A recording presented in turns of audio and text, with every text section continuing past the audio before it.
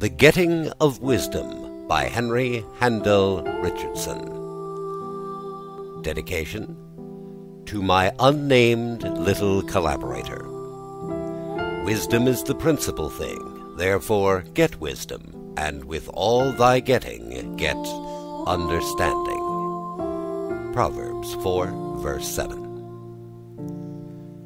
Chapter 1 The four children were lying on the grass. And the prince went further and further into the forest, said the elder girl, till he came to a beautiful glade. A glade, you know, is a place in the forest that is open and green and lovely, and there he saw a lady, a beautiful lady with a long white dress that hung down to her ankles, with a golden belt and a golden crown. She was lying on the sward. Uh, sward, you know, is grass as smooth as velvet, just like green velvet, and the prince saw the marks of travel on her garments. The bottom of the lovely silk dress was all dirty. Wondrous fair, if you don't mind, you'll make that sheet dirty too, said Pin. Shut up, will you? answered her sister, who, carried away by her narrative, had approached her boots to some linen that was bleaching. Yes, but Sarah'll be awfully cross if she has to wash it again, said Pin, who was practical. You'll put me out altogether, cried Laura angrily. Well, as I said, the edge of her robe was all muddy. No, I don't think I will say that. It sounds far prettier if it's clean. So it hung in long, straight, beautiful folds to her ankles, and the prince saw two little feet in golden sandals peeking out from under the hem of the silken gown, and but what about the marks of travel? asked Leppie. Donkey! Haven't I said they weren't there? If I say they weren't, then they weren't. She hadn't traveled at all. Oh, parakeets! cried little Frank. Four pairs of eyes went up to the bright green flock that was passing over the garden. Now you've all interrupted, and I shan't tell any more, said Laura in a proud voice. Oh, yes, please do, wondrous fair. Tell what happened next, begged Pin and Leppie. No, not another word. You can only think of sheets and parakeets. Please, wondrous fair, begged little Frank. No, I can't now. Another thing. I don't mind if you call me Laura today, as it is the last day. She lay back on the grass, her hands clasped under her head. A voice was heard, loud, imperative. Laura, I want you. Come here. That's mother calling, said Pin. Laura kicked her heels. The two little boys laughed approval. Go on, Laura, coaxed Pin. Mother'll be angry. I'll come too. Laura raised herself with a grumble. It's to try on that horrid dress. In very fact, Mother was standing, already somewhat impatient with the dress in her hand. Laura wriggled out of the one she had on and stood stiffly and ungraciously with her arms held like pokers from her sides while Mother on her knees arranged the length. Don't put on a face like that, miss, she said sharply, on seeing Laura's air. Do you think I'm making it for my own pleasure? She had sewn at it all day, and was hot and tired. It's too short, said Laura, looking down. It's nothing of the kind, said Mother, whose mouth was full of pins. It is. It's much too short. Mother gave her head a slight shake. Don't you contradict me. Do you want to tell me I don't know what a length you're to wear in your dresses? I won't wear it at all if you don't make it longer, said Laura defiantly. Pin's chubby, featureless little face lengthened with apprehension. Do let her have it just a teeny bit longer, Mother dear, she pleaded. Now, Pin, what have you got to do with it, I'd like to know, said Mother, on the verge of losing her temper over the back folds which would not hang. I'm going to school tomorrow, and it's a shame, said Laura in the low, passionate voice that never failed to exasperate Mother, so different was it from her own hearty fashion of venting displeasure. Pin began to sniff in sheer nervous anxiety. Very well, then, I won't do another stitch to it, said Mother, now angry in earnest, and got up and bounced out of the room. Laura, how can you? said Pin, dissolving. It was only you who make her so cross. I don't care, said Laura rebelliously, though she was not far off tears herself. It is a shame. All the other girls will have dresses down to the tops of their boots, and they'll laugh at me and call me a baby. And touched by the thought of what laid before her, she too began to sniffle. She did not fail, however, to roll the dress up and to throw it into a corner of the room.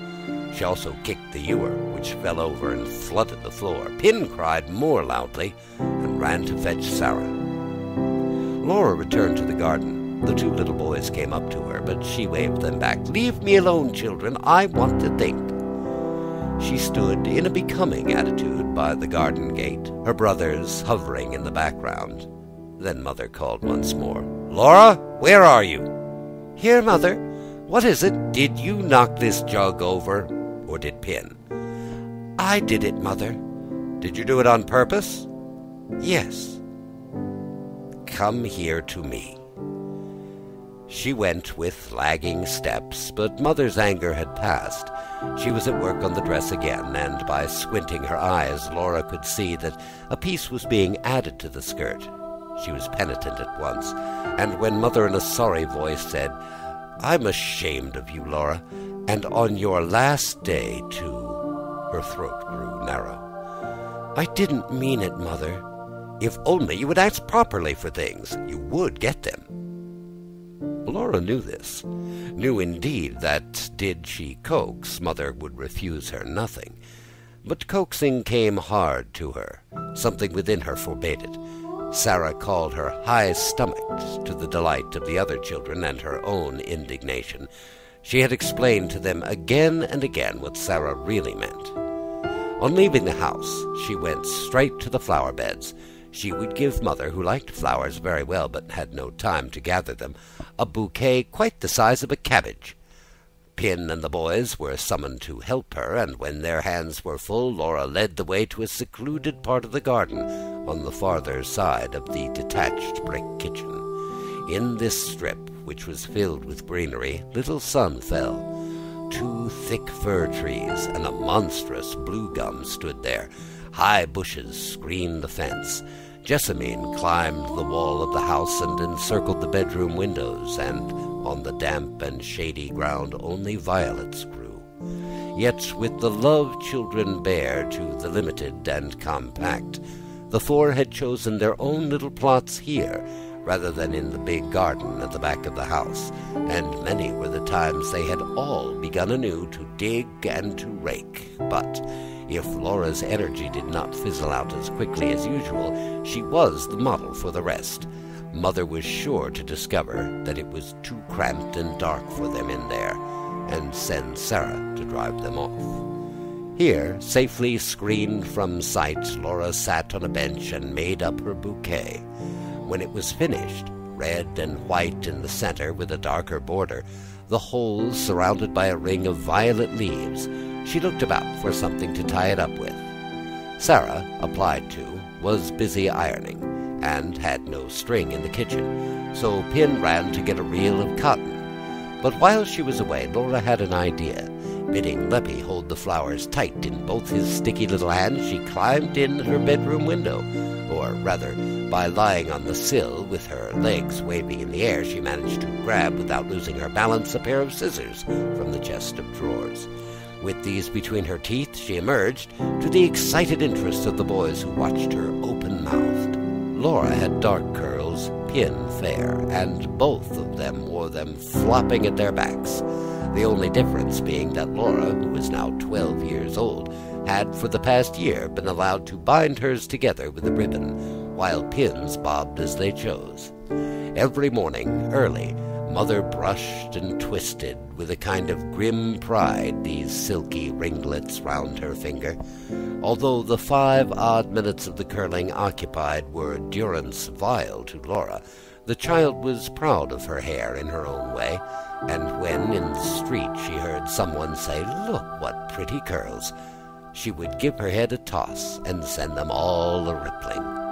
In addition to this, there was a crowning glory connected to them. One hot December morning, when they had been tangled and Mother had kept her standing too long, she had fainted, pulling the whole dressing table down about her ears, and ever since she had been marked off in some mysterious fashion from the other children. Mother would not let her go out at midday in summer.